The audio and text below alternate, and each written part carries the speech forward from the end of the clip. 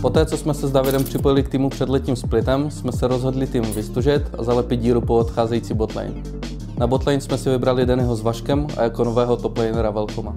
V průběhu sezóny jsme dost pracovali na týmové chemii a konzistentnosti, moc se nám s tím nedařilo vyrovnat a nakonec jsme se rozhodli si vzít hráče jako je Rufus. Mysleli jsme si, že člověk takového kalibru nám jako dost pomůže s těma věcma. Dokázali jsme vyhrát Mastercard Hitpoint Masters a mistrovství Slovenské republiky, ale MČR a Hitpoint Winter nevyšly úplně podle našich představ, takže jsme se rozhodli okamžitě hledat náhrady a změny pro další sezónu. Jake je dlouhodobě nejlepší jungler, který tady kde na naší scéně hrál. Ve chvíli, kdy jsme věděli, že je možnost nějakým způsobem se s ním domluvit, oslovit ho, tak jsme věděli, že je to jako jednoznačně nejlepší možnost a nakonec to dopadlo tak, že jsme se dohodli s Vaškem, jsou naprosto skvělý fit spolu, znají se dlouho a sedí nám to skvěle do té týmové chemie. No a teďka už uh, jsem si myslel, že ten fight půjde právě pro Sinners teďka. Flash and odpojoka a přímo do toho hooku se tady vytáhl a Marksmana průběhu off-seasonu nás skončil Sileys a Dalibor si rozhodl dát pauzu.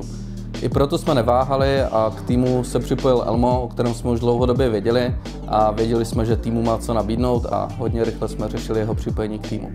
V této chvíli už nějakou dobu spolu trénujeme, odehráli jsme spolu Winter Cup od E-League, který jsme dokázali naštěstí vyhrát. Co to oh, Dole je ta kombinace, která je smrtící. Basket stále naživu. Tedy bere jeden kill. Robocop utíká s medem. Esuba získává další teamfight. Dole téměř ace. Momentálně pracujeme na tom, aby jsme se poznali jako hráči, jako lidi a sehráváme se na další sezónu.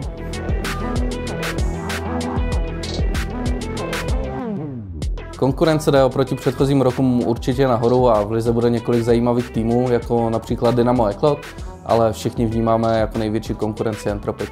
Je to super pro tu konkurenceschopnost tady celého toho našeho regionu. Bude to pro nás trošku složitější, protože konečně tady nebudeme vlastně jediný tým, který bude nadizajnovaný, aby to vyhrál, takže se budeme muset mnohem víc snažit i v naší domácí lize. Tak to se asi měli domluvit, on mohl klidu recallovat dál, ale myslím si, že je v kezi. Ten welcome! Kdo je ten hráč? Určitě je to něco nového a těším se na naše zápasy. Minulý rok jsem se dostal na tu špičku československých toplanerů a nehodlám to místo nikomu předat. Entropic mají sestavu dobrou, většina lidí je bude brát jako favority, ale nakonec může vyhrát jenom jeden a to budeme my.